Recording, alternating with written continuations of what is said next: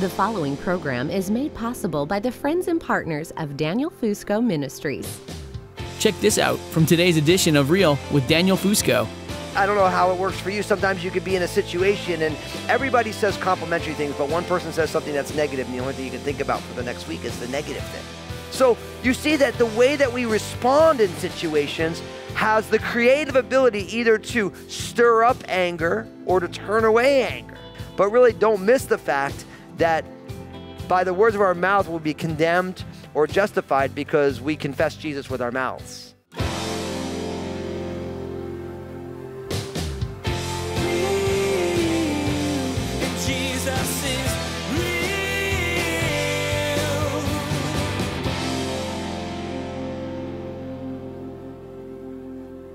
We all learned as kids that uh, sticks and stones may break my bones, but names will never hurt me. And that was a good little, uh, good little nursery rhyme. But in the end of the day, can we be honest? It's not true at all. For for many of us, our words can hurt. You know, we've been wounded by words. You know, uh, we've had these experiences where where people say things and they stick to us like crazy glue right? Like, you, you, I don't know how it works for you. Sometimes you could be in a situation and everybody says complimentary things, but one person says something that's negative, and the only thing you can think about for the next week is the negative thing, right? So, so our words matter. And today we're going to start a, a series looking at the power of words, what our words can do so that we can be aware of it. And I, I, we're doing this purposefully because, you know, we, we're living in a world where attacking other people verbally uh, is kind of becoming commonplace. You know, like people are just, it's such an aggressive culture now. And I think, you know, and, and I'm not against social media at all. You all know I do social media as much as the next person. But we have this, our society now is just so, words are just vicious at this point. People are are vicious to one another. And listen, as, as a church family, as we see what's going on in our culture, we want to say, well, what does the Bible say about our words? And so we're starting this brand new series today that we're calling Sticks and Stones. And, and the way I wanted to start this series, you know, normally we teach verse by verse through chapters and books of the Bible. That's kind of our normal way of doing it. But I wanted to start this series um, with what would be called a topical message, where just to kind of be able to set the framework for this series to be able to look at our words. And so I've called this message, Your Words Matter. Now, the first thing you need to know about your words, and the reason I think this is important also is because guess what? All of us communicate with words right? Like, like I don't miss the fact that your posts on social media, you're still using words. You're not speaking them out, you're typing them, but but words are one of the primary ways that we communicate. And so because we're all using words, words are a utility that God has given us to be able to express ourselves and all these different things. We want to make sure that we are utilizing this gift of words in a way that honors the Lord. So so to get this thing going, here's the first step of this. You have to realize that words are creative. Words are creative. Now, you might say, well, Fusco, uh, where do you get that from? Well, listen to Genesis chapter 1. In the beginning, God created the heavens and the earth. The earth was without, without form and void, and darkness was on the face of the deep, and the Spirit of God was hovering over the face of the waters. Then God said, Let there be light, and there was light. Verse 6 Then God said, Let there be a firmament, in the midst of the waters, and let it divide the waters from the waters. Verse 9 Then God said, Let the waters under the heaven be gathered together in one place, and so on. See, the, the creation account over and over again, God's words are creating everything.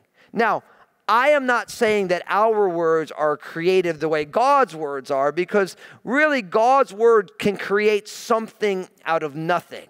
Uh, uh, the old word for that is ex nihilo, that God can bring something into existence before there was anything there. Now, that's God, God can do that. But our words are creative because we are using things that are already in existence, but our words have the same creative properties. And in a lot of ways, when we realize that our words are creative, it shows us the power that we have within our words and how it's important that we be careful. What do you want your words to create? Listen to what it says in Proverbs chapter uh, 12, verse 18.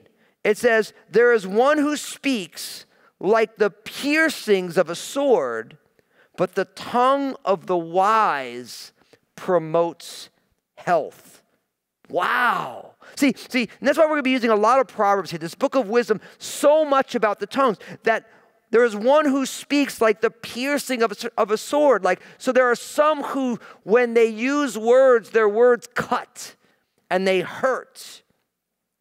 But the tongue of the wise promotes health. So, a wise person utilizes words to bring health and wholeness, to, to build up rather than tear down, to, to bless rather than curse, to, to bring together rather than divide. Your words can either cut down or your words can, can promote health. Listen to what it says in Proverbs chapter 15, verse 1, about words being creative. A soft answer turns away wrath but a harsh word stirs up anger. Now you hear that. So, in the midst of a conversation, if you share a harsh word, then it creates the context for, for, for wrath to be able to happen, right? But in the same thing, a soft, a, a, soft word will turn away that wrath. So you see that the way that we respond in situations has the creative ability either to stir up anger or to turn away anger. Now, you see how important this is because just like where the rubber meets the road where we all live, we talk to people all the time, right? And how often when somebody when there when something goes on and things get heated that we add a harsh word onto it and we make it worse, or how often when someone gets something gets heated, we say, "Oh, hey, hold on, hold on a second. I, I, think, I think we're going down the road that neither of us want to go down right now. See, we're all always in communication with other people, whether it's via email or text or direct messages or social media or we're talking one on one. And really, a lot of us have not taken hold of the fact that God wants to do something with our words. And your words are creative. Just the way God created the heavens and the earth through words, we can promote health, we can cut like a sword. We can create fights, or we can stop fights with how we choose to use our words. And I believe that God wants to do a revolutionary work in all of us in the ways that we speak, what we choose to say, why we choose to say it. Now, what else does the Bible teach us about words? Well, it teaches us that words are a window into your heart. That words are actually a window into your heart. Really, what it means is that what you say shows you what's in your heart. You don't believe me? Listen to what Jesus said. This is Matthew chapter 12, verses 33 to 37. It says this. This is Matthew 12, 33 to 37. Either make the tree good and its fruit good, or else make the tree bad and its fruit bad. For a tree is known by its fruit. Brood of vipers, how can you, being evil, speak good things? For out of the abundance of the heart, the mouth speaks. A good man, out of the good treasure of his heart, brings forth good things. And an evil man, out of the evil treasures of his heart, brings forth evil things. But I say to you that for every idle word men may speak, they will give an account on of it in the day of judgment. For by your words you will be justified, and by your words you will be condemned. Ouch! I mean, those are the words of Jesus. I mean, it's amazing what he's saying. He's saying that words are a window into your heart because he says, out of the abundance of the heart, the mouth speaks. So here's the deal anytime whatever comes out of your mouth shows you, it's a window into what's actually in your heart. One of the things that I love so much about the Lord is the Lord already knows what is inside of us. It's not like the Lord is shocked by these things that are inside of us. The Lord already knows. Often we can be shocked by what's inside of us. But what we end up having is that once we realize that there's something inside of us that is not what God would have, then we come to the Lord. We say, Oh, Lord, we confess it to the Lord. Lord, you know what's in my heart. And Lord, I want to turn away from it. Lord, I'm giving it to you. I'm, I'm agreeing with you that that's wrong. And Lord, I want you to, to do a work to cleanse my heart so that I feel differently, or I think differently, or I act differently. Jesus is the great heart surgeon. He wants to do a work in all of our lives, and none of us are c- completed yet. I mean, in Christ, we're perfected, but our experience of that perfection every single day, we're in this process of sanctification. So I, I always like to remind people that, like, I'm not what I used to be, and I'm not what I'm going to be, but today's a day to move in the right direction. So, so God is doing a work. And so when you see what's in your heart through the words that you that you choose to speak or the words that you want to speak but you are smart enough not to say it, it's an opportunity to confess it to the Lord, to repent and then of course rejoice in God's forgiveness that he would love people like us. Because I mean you hear what Jesus says here in, in, in Matthew chapter 12 that a good man out of the good treasure of his heart brings forth good things, and an evil man out of the evil treasure of his heart brings forth evil things. And then he reminds us that for every idle word that we speak, we will give an account, for in it, on the day of judgment, for by your words you will be justified, and by your words you will be condemned. Now, that last statement is kind of heavy, isn't it? That we all going to give an account. Because really, on the day of judgment, we give an account for the totality of our lives, and our words are part of the totality of our lives.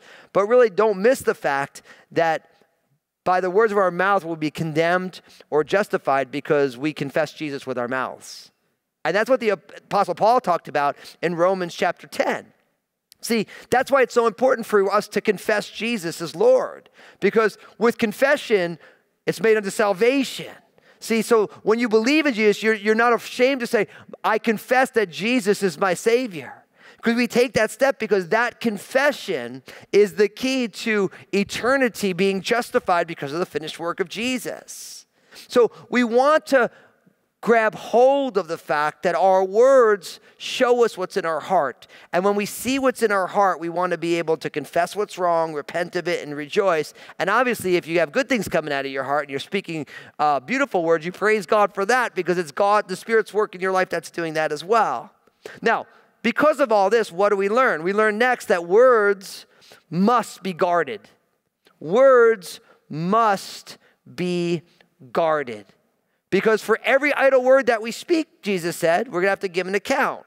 So we, we want to not just speak our minds all the time.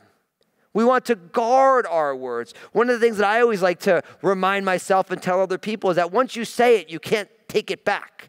Like it's been said, those words, because they're creative and it's a window in your heart, it's better not to say it than to say it and wish you hadn't, right? So you need to guard your words. Now listen to what it says Proverbs chapter 21, verse 23. Proverbs 21, 23 says it this way Whoever guards his mouth and tongue keeps his soul from troubles. Isn't that awesome? Whoever guards his mouth and tongue keeps his soul from troubles. That, I mean, could it get more plain as day than that? Because if you take the alternative, if you don't guard, then you're creating troubles for your soul because not everything we say should see the light of day. Now, I think that's one of the things, that's one of the struggles we have in our culture because our culture has kind of grown to say that, like, I am just who I am. Like, eh, like we, we really want transparent. Everyone's like, well, this is who I am, deal with it. And actually, the book, the Bible says that's the exact opposite of what you're supposed to do. Like, we live in a day where people are like, well, that's who I am. If you don't like it, you can deal with it. No, no, no. That's foolishness. Because really, what it's saying is that me as I am, I should impose that on everybody. It's the ultimate in narcissism and pride. Actually, what God wants is for us to be aware of what we are, but not impose that on everybody. There's a difference between transparency and vulnerability. Transparency says, This is who I am, deal with it. And vulnerability says, This is who I am, can you help me? Right? And in a world that loves transparency, everyone just speaks their mind. The Bible says, actually, don't do that. Guard your mouth and then ask for help. Don't say the things that you wish you had. I mean, and listen, all, like, listen, raise your hand. How many of you have said things you wish you hadn't before? All of us have, right? There's like you have you're having a disagreement or you're having a discussion, and all of a sudden you say something, you're like, why did I say that? And, and, and, and because you didn't guard it, now you have, there's troubles, there's all these things that go on because words are creative. They give a window into our soul. And once they're out there, you can't pull them back. And that's why, of course, the Bible says, Lord, uh, let our words be few.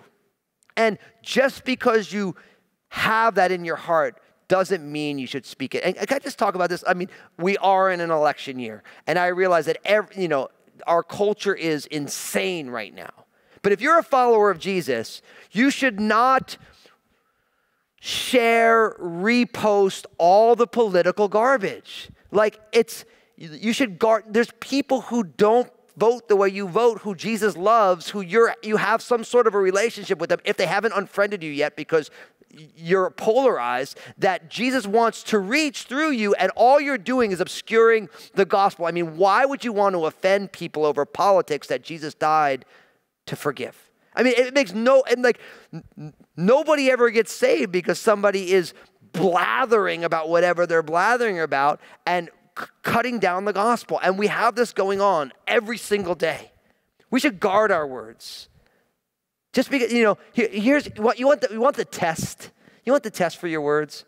Ask yourself before you post it, before you say it, does this display the fruit of the Spirit? It's a, it's a great test. It gets the job done. You say, does what I'm going to say now, is it loving? Is it joyful? Is it full of God's peace? Is it patient? Is it kind? Is it gentle? Do these words show my faithfulness to the Lord? Right? I mean, like, are these words exercising self control? I mean, like, it's such a simple test because we want to walk in the fruit of the Spirit. We know that when we're in the Spirit, we, we have the fruit of the Spirit on display. And we need to make sure that we guard our hearts because everything that we think should not see the light of day. It shouldn't just come flying out of our mouths. And I remember when, this is so funny, and I'm even sharing this with y'all, but you know, hey, it's, it's family. I remember when I first got saved, I started asking God for like a three second delay like they have on TV. Now I think it's more like 10 seconds between when it happens and when they show it on TV. So they have to, if they need to edit anything or beep out bad words, I started saying, Lord, will you give me a, a filter, like, like a 10 second delay, a three second delay between when I think something and when I say it? Because growing up with a big mouth, everything I thought would just fly out of my mouth right? And, and, and without any regard for the consequences of it. But when I started walking with Jesus, I realized this is not a good thing. I, there needs to be like a filter, right? So that so that certain things that I'm I'm gonna say, I don't say. And every once in a while, when things slip out that I don't want to slip out, I'm always like, oh man, Lord. But I, I realize how far I've come, but I also realize how far I need to go. Because your words are creative, they show what's in your heart, but they should be guarded, right? And, and, and when you don't say certain things, but they're in your heart, it's so much better to just have to deal with it with the Lord and say, Lord, you know this is in my heart. You know this is not glorifying you. But Lord, at least I'm not saying it and tearing people down. I'm not saying this and destroying relationships. I'm not saying this and creating all sorts of troubles for me and other people because of the dumb stuff that's in my heart. Lord, do the heart work without all of the collateral damage of saying these things. So our words must be guarded. And then finally, you and me, our words should bless people. Our words should be a vehicle for the blessings of God. And really, that's why God created our words. So that not only we can communicate with one another, but we could bring a tangible blessing through his heart and his words coming through our heart and our words. Like, listen to what it says in Proverbs chapter 16, verse 24. Pleasant words are like a honeycomb, sweetness to the soul and health to the bones. Now, we don't really get the, the implication that pleasant words are like a honeycomb until you realize that the only way to sweeten anything in biblical times was through honey. There was no high fructose corn syrup. There was no, uh, you know, uh, you know, whatever you use to try and sweeten your stuff up. You know, brown sugar, cane sugar, you know, uh, spirulina. I mean, whatever people use to, to, to sweeten up their stuff, right? It's like all they had was the honeycomb. And so they're saying literally words that are building up, pleasant words, words that bless, are like the best sweetener. They bring sweetness to the soul and health. Like so, so it's not only like a, a spiritual thing, there's also there's physical blessings that come along with it. And then don't miss this. Speaking about our words that bless people, listen to Ephesians chapter 4, verse 29.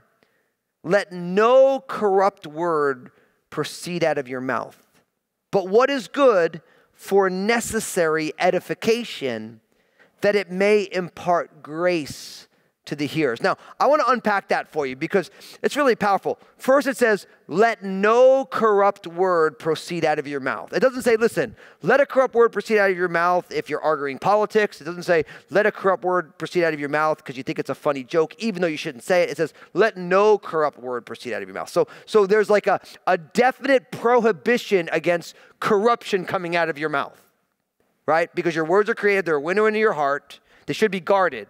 So you when you catch yourself wanting to share a corrupt word, you should guard that, right? But instead, what is good for necessary edification. So you should guard your words and only let come out of your mouth what is good to what's necessary to build people up. And how do you build people up? By imparting grace to your hearers. So God's plan for our words is that our words impart grace, the grace of Jesus, the, the love of God the goodness of God, the truth of God's word. But we speak the truth not brutally, but we speak the truth as the Apostle Paul said what? In love. And uh, Warren Wiersbe, the, the Bible commentator, said it this way that love without truth is hypocrisy, and truth without love is brutality. So when you, when, you, when you're a truth teller, without love, it's brutal. It brutalizes people, it hurts people, right? But, and we want that love, that truth spoken of in love. And so we want our words to impart grace to people. That's God's goal. That our words are a vehicle to draw them closer to the Lord because our words build them up, they edify.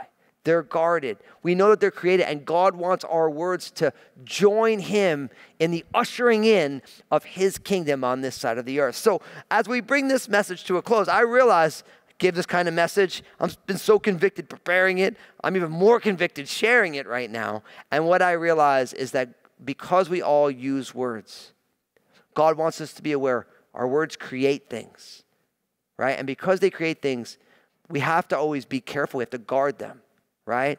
We should use our words to bless. Any words that are not going to bless somebody, we should hold them back. Because those words give a window into our heart and God is interested in doing a work of purification in all of our hearts. And as we, as Jesus said, as we love the Lord our God with all our heart, soul, strength, and mind, and we love our neighbors ourselves, the journey of life is for God to do a work of purifying our words, transforming our words, changing our words. And now, I don't want anyone to feel like condemned because we've all failed.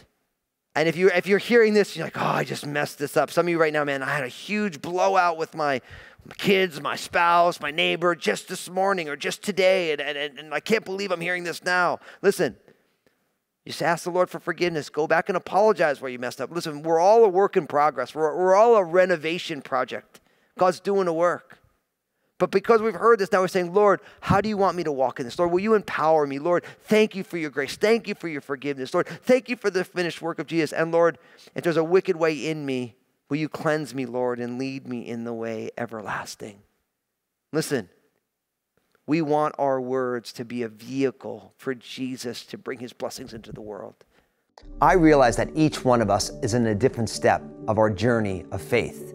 And I realize that for many of you who are watching this program, you've made it all the way through the program. And the whole way through, deep in your heart, you're saying, I've never put my faith and trust in Jesus. And as you've been hearing this, and, and even long before you watched the real program, God has been doing a work in your life. There's been so many signposts so many different forks in the road that you find yourself now saying, if Jesus will forgive me of my sins, if Jesus will lavish his grace upon me, if Jesus will place his Holy Spirit within me, I want that. And I want you to have that. So, in order to begin this journey officially with Jesus, I want you to pray a simple prayer thanking Jesus for what he's done for you. So, bow your head and your heart if you can and just repeat after me. Say, Jesus, I give you my life. Thank you for saving me. I believe in you, your life, your death on the cross, and your resurrection. Forgive me of my sins. Fill me with your Holy Spirit. Lead me and teach me to follow you. And I ask it in Jesus' name. And we all said together, Amen. If you just said yes to Jesus, I am beyond excited for you. But I want to know about it because there's more steps in the journey to take. So if you can pull out your mobile phone and text the word saved to 51400, all the info is on your screen. When you text that in, someone from my team is going to get in touch with you and we're going to get resources in your hands to help you on this beginning of your journey with Jesus. But don't go anywhere. I have a big idea that I want to share with you that will definitely bless you. You can take part in the amazing work God is doing through the powerful message that although life is messy, Jesus is real. By partnering with Daniel Fusco Ministries, you help make programs like this available to people who may not otherwise experience the love and hope only found in Jesus. With your regularly scheduled partnership, your generosity can help transform lives forever. Go to danielfusco.com slash partner now and become a part of the Daniel Fusco Ministry support team with your regularly scheduled or one-time gift. Be the hands and feet of Jesus in your world and become a partner today. Hey everybody, Daniel Fusco here. Welcome to today's two minute message. No matter where you are, start your weekdays with an encouraging thought from Pastor Daniel. You'll find his popular two minute messages on Facebook, or you can subscribe to them on YouTube so you don't miss any of them. Each weekday, Pastor Daniel brings insight and encouragement on important topics that affect your life in only two minutes or less. Join the community now. Go online and search for Daniel Fusco on Facebook or Pastor Daniel Fusco on YouTube. If you're looking for a church family in the Vancouver area, we invite you to check out Crossroads Community Church. We are a family of faith, fully engaged, transforming our community and our world, and we would love for you to be a part of what God is doing through the Crossroads family. Our main campus is in Vancouver, Washington. For service times and directions, visit crossroadschurch.net.